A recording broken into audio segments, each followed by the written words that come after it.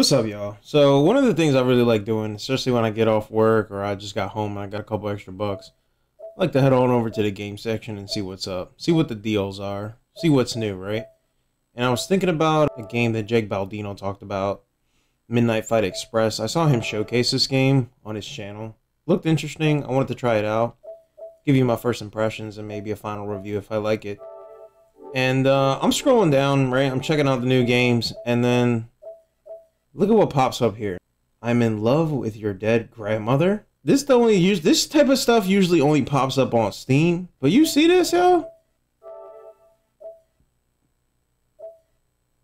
Bro, like sometimes this type of stuff pops up on PlayStation. I'm like, what are y'all doing here?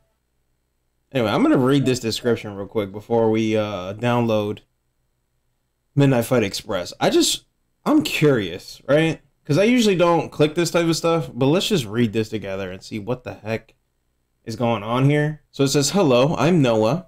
I'm 28 years old, and I still haven't gotten a single date in my life. I'm looking for a life coach who can help me figure out the hard choices in my day to day life, you know?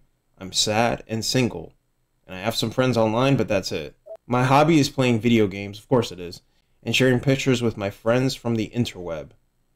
They all like my pictures and say I'm special and funny. I recently created a dating profile because my friend told me I could get some action if I did.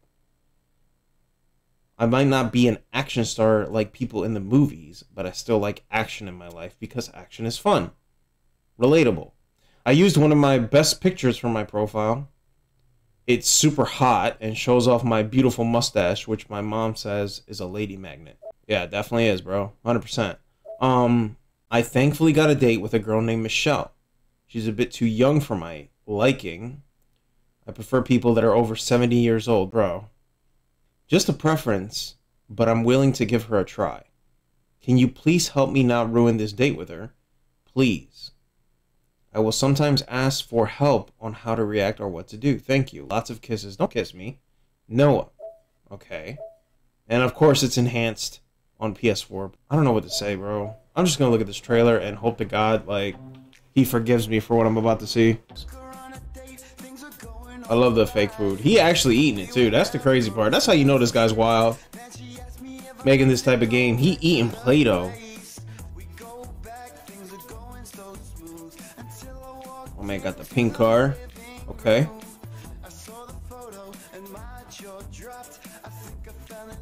What do you see? Drops the roses, drops the chocolates. Bro.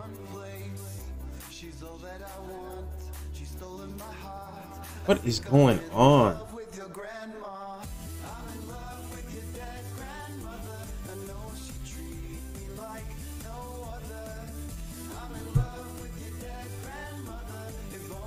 Alright, I'm good. I'm done. Alright, yep, I tried. Guys, if you want me to play it, man, let me know in the comments, but I ain't spending $5 for that shit if I don't have to, bro. But if y'all really want me to play this, Ugh.